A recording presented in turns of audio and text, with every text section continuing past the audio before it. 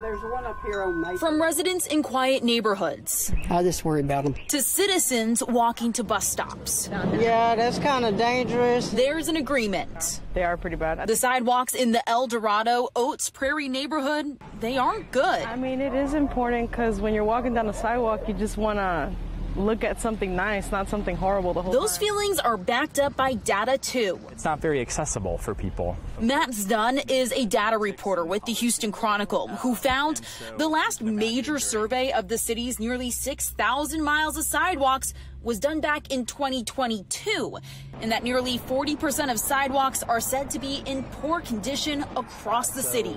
Houstonians are very familiar with sidewalks, the bad, the good, even the ugly of sidewalks. The El Dorado Oates Prairie neighborhood was found to have the most poorly rated sidewalks overall, with more than 20% of sidewalks being in poor condition. Because there is such a wide variety of different types of sidewalks, we see that some neighborhoods have really good ones and some neighborhoods have really bad ones. And that affects kind of how you feel about your community. Dunn's reporting found that the city does set aside $3 million every year, but that the money doesn't go very far with six figure price tags attached to just a few miles of sidewalks. A consistent theme across people that I talk to is that the city needs to find some kind of pot of money to pay for building and repairing sidewalks.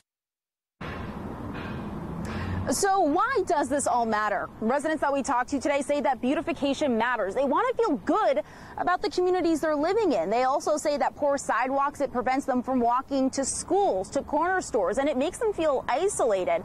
Matt tells us that knowledge is power. Now that people have this data in an easy to access place, he hopes that they're taking it to their elected leaders and they're asking for change. From the El Dorado Oates Prairie neighborhood, I'm Lileana Pearson, ABC 13 Eyewitness News. Thank you, Lileana. Liana